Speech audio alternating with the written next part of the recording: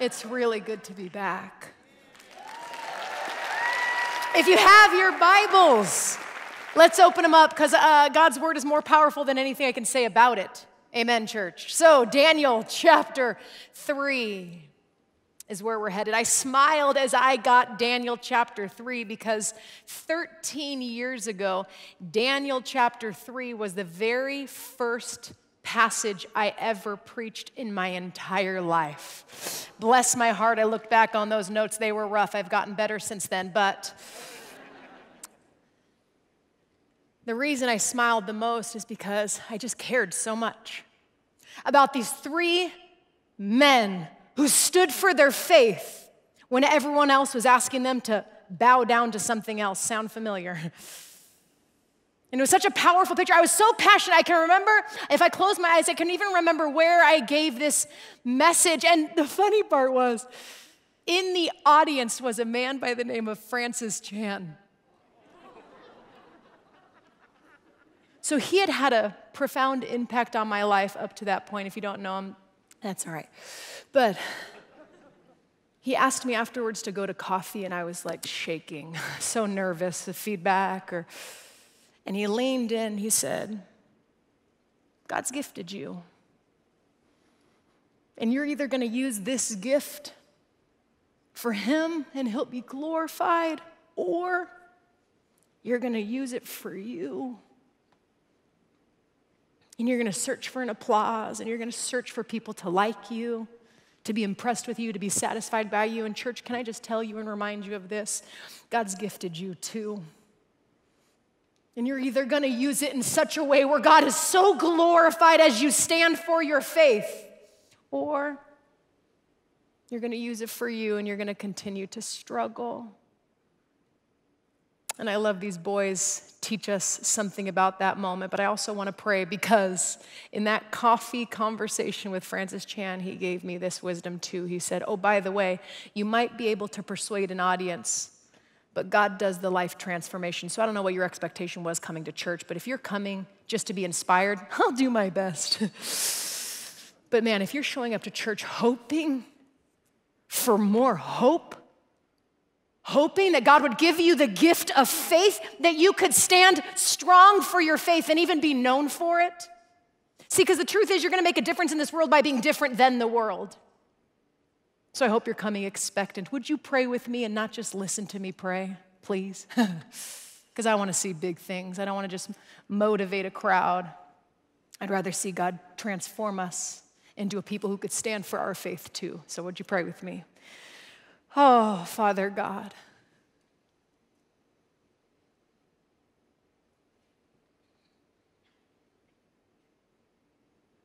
Feel like each of us has something different to bring to you. So even in this moment of silence, I pray that we would, whether we're seated in our home, seated in this auditorium, wherever we're at, God, I pray that we would just talk to you, go to you with precisely where you're at, trusting that you care and that you're listening. Hear our prayers, Lord.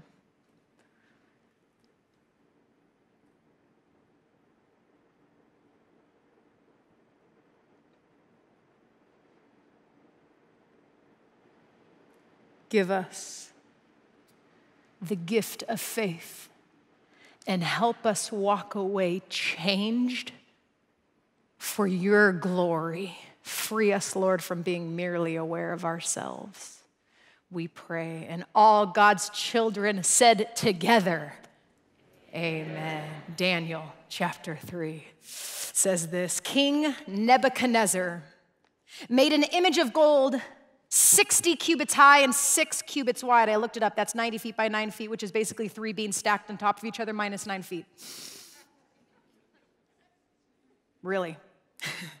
and he set it up on the plain of Dur in the province of Babylon. He then summoned the satraps, prefects, governors, advisors, treasurers, judges, magistrates, and all the other provincial officials, basically who's who, to come to the dedication of the image he had set up. So, the satraps, prefects, governors, advisors, treasurers, judges, magistrates, and all the other provincial officials assembled for the dedication of the image that King Nebuchadnezzar had set up, and they stood before it. Then the herald loudly proclaimed, Nations and people of every language, this is what you are commanded to do.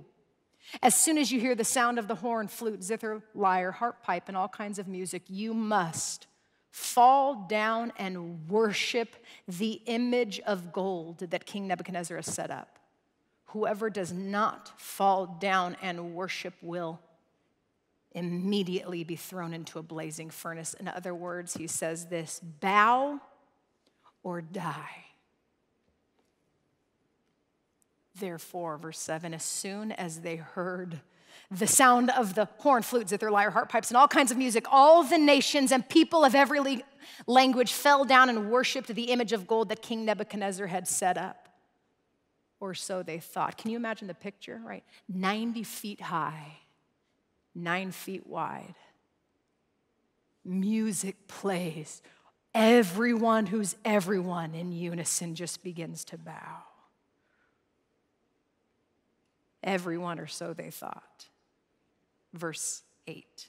At this time, some astrologers came forward and denounced the Jews. They said to King Nebuchadnezzar, May the king live forever. Your majesty has issued a decree that everyone who hears the sound of the horn, flute, zither, lyre, harp pipes, and all kinds of music must fall down and worship the image of gold, and that whoever does not fall down and worship will be thrown into a blazing furnace. But there are some Jews whom you Notice the jealousy. There are some Jews who you have set over the affairs of the province of Babylon. We learned about that last week. Shadrach, Meshach, and Abednego, who pay no attention to you, your majesty. They neither serve your gods nor worship the image of gold you have set up. It's like they're poking at his pride. You gave them this, and they're not listening to you. You. Do you hear all the you in there? What's his response? Verse 13 furious with rage. Nebuchadnezzar summoned Shadrach, Meshach, and Abednego. So these men were brought before the king. And Nebuchadnezzar said to them, Is it true, Shadrach, Meshach, and Abednego, that you do not serve my gods or worship the image of gold I have set up? Now, when you hear the sound of the horn, flute, zither, lyre, harp pipes, and all kinds of music, if you are ready, in other words, he's giving them a second chance. I can imagine the audience being shocked at this. If you're ready now to fall down and worship the image I made, very good. But if you do not worship it, you will be thrown immediately into a blazing furnace. Then what God will be able to rescue you from my hand? What a great question. Verse 16 Shadrach, Meshach, and Abednego replied to him with one of my favorite speeches from the Bible King Nebuchadnezzar. We do not need to defend ourselves before you in this matter. If we are thrown into the blazing furnace, the God we serve is able to deliver us from it, and he will deliver us from your majesty's hand. But even if he does not, we want you to know your majesty, that we will not serve your gods or worship the image of gold you have set up. Everyone gathers, music plays, everyone bows, and then there's these three guys standing for their faith who give this profound speech. But I want to ask you this why did they stand? What did they know so that we can learn how we too can stand for our faith? Even today? Well, first thing we know is this. They even say it and as they give their speech of faith, they say, The God we serve. They served God alone. Point one, they served God alone. You see, because they believed God is real. Now that seems really obvious, right? Well, God is real. Yeah, yeah, yeah. But He was so real that it even affected their actions. How about you? God is so real, so powerful. They knew him so much that it even affected their actions. When they go to talk about themselves, they say, The God we serve, that's who we are. We're just servants of the one true God. And you know what else they knew? They knew the seriousness of idolatry. They knew the Ten Commandments. Remember those? Exodus chapter 20 says this. Listen to how specific God is. It even says this, and God spoke all these words. Exodus chapter 20, verse 3, listen to it. You shall have no other gods before me. You shall not make for yourself an image in the form of anything in heaven above or the earth below and the waters below. You shall not, look how specific, bow down to them or worship them. For I, the Lord your God, am a jealous God, punishing the children for the sin of the parents to the third and fourth generation of those who hate me, but showing love to a thousand generations for those who love me and keep my commands. See, Shadrach, Meshach, and Abednego knew that they couldn't serve God and bow down to an idol, even if it would cost them their lives. Now, as Christians today, surely we don't have the same problem, right, church? I mean, surely no one is stacking three beans on top of each other. Do you know what I mean? And forcing us to bow down. Or are they? See, I think in reading this passage, my heart leapt because I believe idolatry is still just as dangerous today for us as it was for them. And it's only problematic because, have you noticed? It's far more subtle. You see, no one may be um, building 90 foot statues and telling us to bow down, but you know what has become really normal in our culture? And I'm not saying that it's bad, but I just want to warn us to be very, very careful with it. See, we're not building up 90 foot statues, but you know what we are building up? Social media platforms. Notify me that someone notices. Again, I'm not saying that it's evil, I'm not saying that it's bad, but we have to be so careful because it's become so normal in our culture to build a profile. We have to be so careful, church. I've been studying this passage and, and praying for us, praying for our hearts. Because I believe idolatry is everywhere. We have to be very careful with it. In fact, Tim Keller defines an idol this way an idol is anything more important to you than God, anything that absorbs your heart. Is anything absorbed? Did, absor- you know, your heart lately? It's anything that absorbs your heart and imagination more than God, and anything you seek. Here's where we got to be even more careful to give you what only God can give you. It's easy to run to people for security. It's easy to focus on a future job for safety, right? Matt Chandler, a pastor down in Texas, says, Comfort is the God of our generation. See, if we're going to serve God alone, we also have to acknowledge all the different idols that are around us, tempting us every single day of the week, because we could absolutely miss it. And then we're not suddenly serving God alone. And then it's going to be very difficult to stand for our faith when we're not aware of everything else that we're standing for. But as always, what I love about preparing sermons for you, Willow, is God always does it first through me. And I sat there quietly and I said, Lord, okay, what is it for me? idols? What am I bowing down to? So if I'm not standing for you, what am I bowing down to? And I'm going to tell you, one came up. And it seemed to affect every decision that I make. You ready for it? The idol I bow down to most to serve is me. Anyone else? Going to be difficult to stand for our faith when we're serving our self comfort, when we're making decisions, financial decisions based on our own comfort. It's going to be very difficult to serve God alone if what we're thinking about is how it will affect us. It's going to be difficult to see anyone outside of yourself in this moment or serve your family if what you're thinking about is you. In fact, a friend of mine told me that before she was equipped for ministry, she heard this one sermon that changed her life. Do you want to know what the sermon was? It was this. And I believe it's the very sermon that Francis Chan was getting at me, my very first sermon I ever gave with this message when he says this it's not about you. Church, you ready for the message I believe God wants to deliver through my willing mouth in this moment? It's this it's not about you.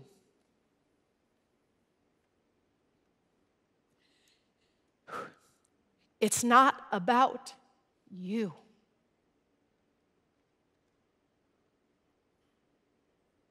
What are you thinking about? What's coming to your brain? That's not about you either. it's not about you. I know I've already said it a few times, but I have something else to add. not about you. Your marriage, not about you. Can I tell you how free you would be in your marriage if you took that one? it's not about you. Your kids, not about you. Success, not about you. Your gifts, not about you. The changes at Willow, not about you. It's not about you. Will you receive this word, church?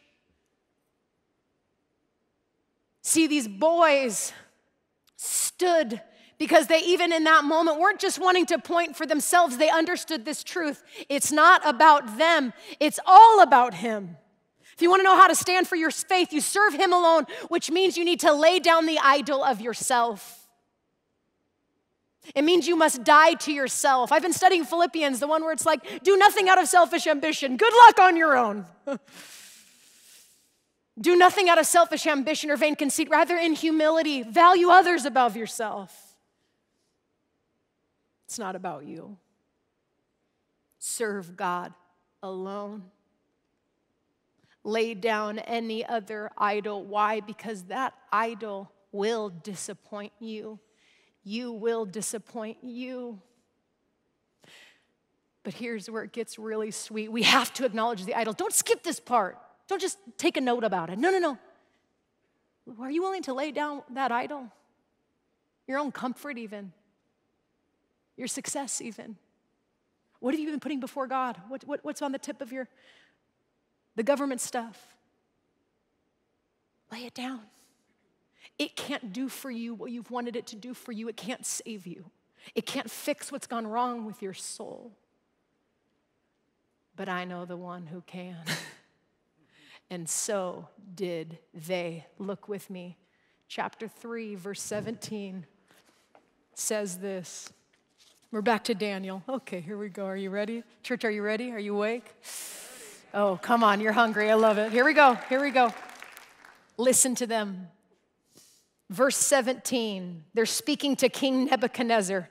We don't need to defend yourselves before, before you in this matter. Verse 17, if we are thrown into the blazing furnace, the God we serve is able. The God we serve is able. No other God is able to deliver you.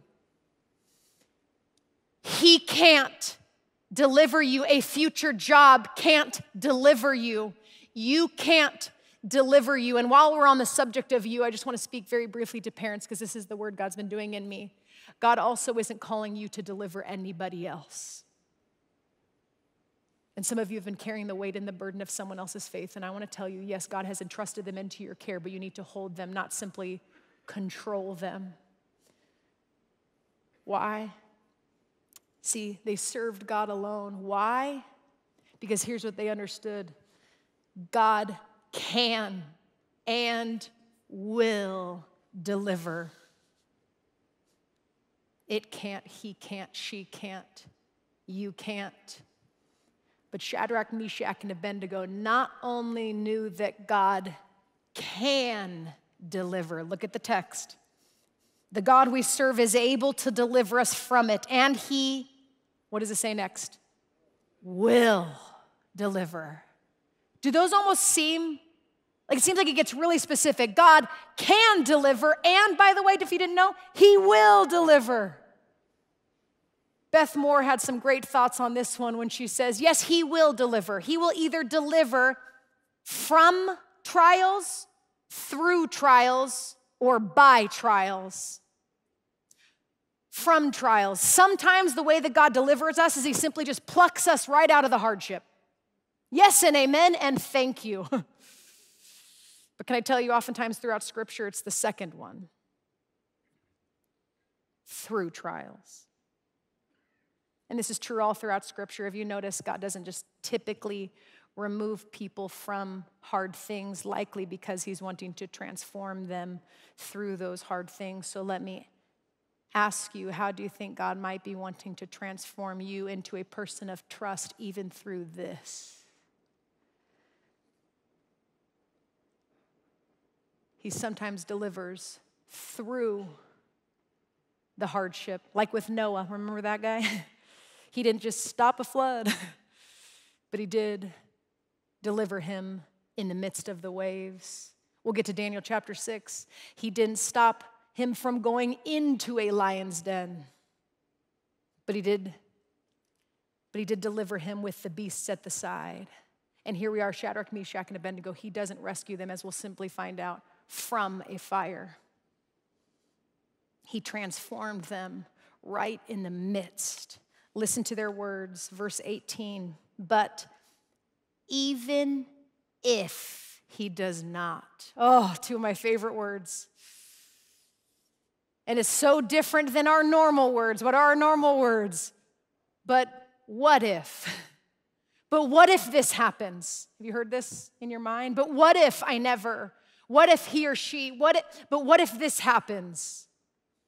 What if will breed fear for the rest of your life?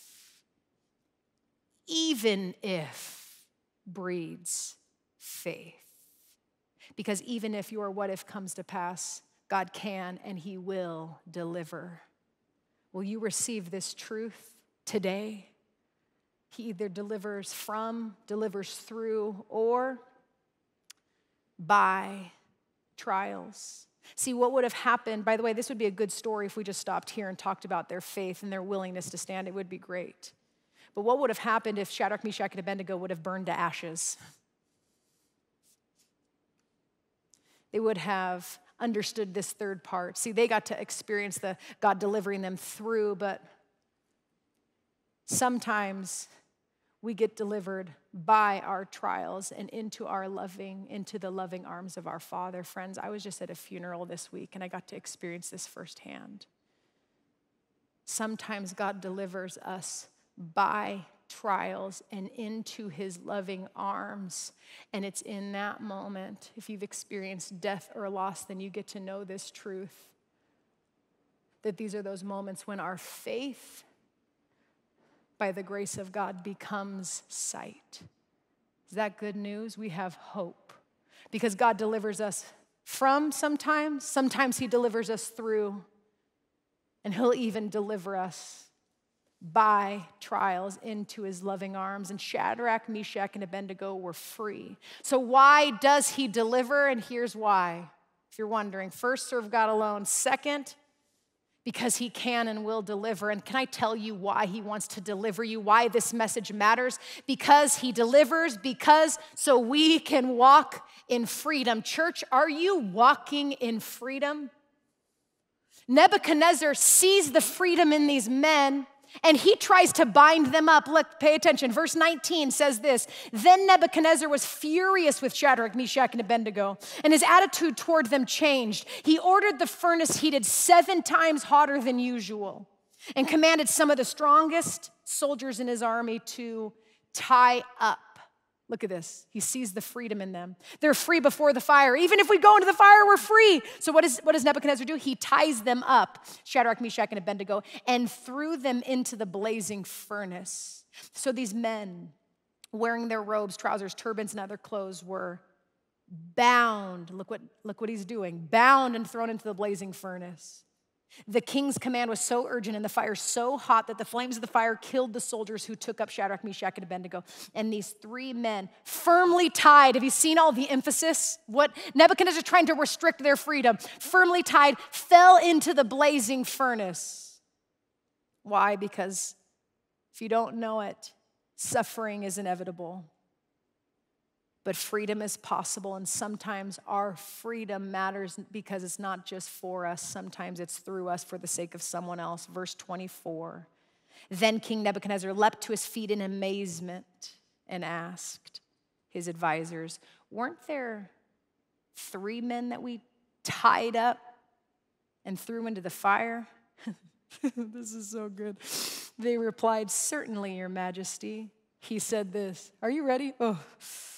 Look, I see four men walking around in the fire, unbound. Did you catch it? Unbound. You know what that means? Church, you don't have to be out of the fire to find your freedom. The only thing that was burned in the fire was anything that bound them before the fire. Freedom is possible for you now. Oh, and if maybe you're listening to this sermon, you're going, yeah, yeah, yeah, freedom sounds good. Where do I even look for it? Good. Look into the fire that you're facing. Nebuchadnezzar did, and this is what he found, verse 25. I see how many men? Four men walking around in the fire, unbound and unharmed, and the fourth looks like a son of the gods. Church, you are not alone in the fire. Do you believe this?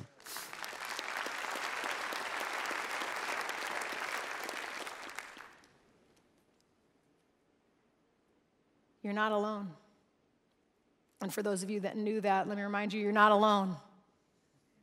Who was this fourth person? Commentators debate.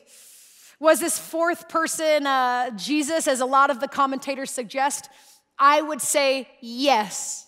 But to, to play it safe, we'll say it's a reflection of God, Emmanuel, which is God with us. You are not alone in the furnace of your lives. In fact, these boys were free before they went to the fire, they were free while they were in the fire, and ultimately, were free because this was not the only fire God faced. Church, if you've been leaning in and you feel restricted in this season, know this God can and God will deliver you. Why? Because Jesus, fully God, fully man, came to earth. He experienced trials of many kind, and he understands what you're going through. Have you felt betrayed in this season? Jesus understands.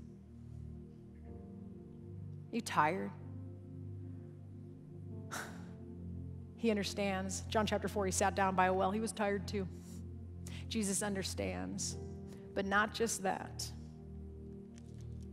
See, Jesus himself was tempted in every way, yet was without sin. And in his death on the cross, he was thrown into the ultimate furnace of God's wrath. And this is how we can ultimately be delivered and set free. Would you receive this truth? When we put our trust in Jesus, none of the wrath due us for our sin comes to us because it was already poured out on him. And then he resurrected from the dead, proving that he is God and he can make dead things live. He can make us alive again, church. Bring our heartbeat back. And then, as if that's not enough, complete freedom from having to people please people all the time, from having to make your life about you, serving yourself and your desires all day long. He frees us from all of that, and then He gives purpose to all of your pain. Tim Keller put it this way I have to say as you go through many furnaces of many kinds, remember this trial you're facing is a cooler furnace. This is not being punished for your sins because Jesus was thrown into the ultimate furnace for you. If Jesus went through the ultimate furnace for me, I can go through anything I face for him. If we trust in him, any furnace we face, guess what? It'll only make us better. Our character's relationship to trials is like gold's relationship to fire. It'll only make us better. See, Jesus suffered not so that I might not suffer, but so that when I suffer, I become like him. Church, if you remember Jesus Christ being thrown into the furnace for you, you will sense his presence with you in your trials, and it will turn you into gold. What are you going through, church? Bring it to Him. Stop trying to do it on your own. You don't have to. He shows off his power through Daniel chapter 3 by giving these boys the gift of faith to go, We serve God alone, not what the culture asks me. Church, who will you serve? Lay down your idols, they can't deliver. But our God not only can, church, believe it today, He will deliver. And He does it so that you can be free again. Would you walk in that freedom? Would you walk out of this place, whether you're in your home, this building, would you walk out free? He made it possible because you can be free before the fire. You can be free right in the midst. Dear friend of mine just found out it is cancer. And I looked at her. I heard a conversation she had, and she said, I'm at so much peace. I said, How? She said, Because I am a willing participant in whatever God wants to do in my life. How about you? She said, I already got to tell two people in two waiting rooms, I already got to tell them about hope, and they're dying too. Guess what, church? This world needs hope. Are you living like you have it? Or are you searching to find it somewhere else? It's not going to work. Serve God alone. He can, He will, He has. Why? So you can walk free. Let's praise Him for it. Heavenly Father, I thank you that we don't have to be bound by our circumstance. We don't have to be bound by selfishness anymore. We can be free. So I thank you, Lord, for the gift of freedom.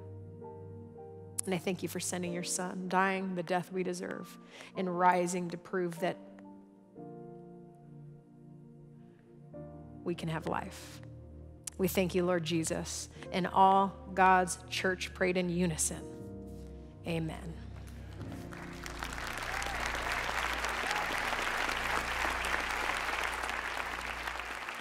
Amen. Thank you, Megan, for the powerful reminder of our great God who's a God of deliverance. And he'll deliver us either uh, from the, the, the, fire or through the fire or ultimately by the fire, but we believe in a God of deliverance that ultimately will lead us to freedom. Remember the words of Jesus when the son sets you free, my friends, you are free indeed. Let's walk in that freedom this week. Uh, next week, we'll also continue our journey through Daniel. Our senior pastor will be back with us next week as we continue this series, but we hope you have a fantastic week. Thanks for being with us this weekend. Have a great week.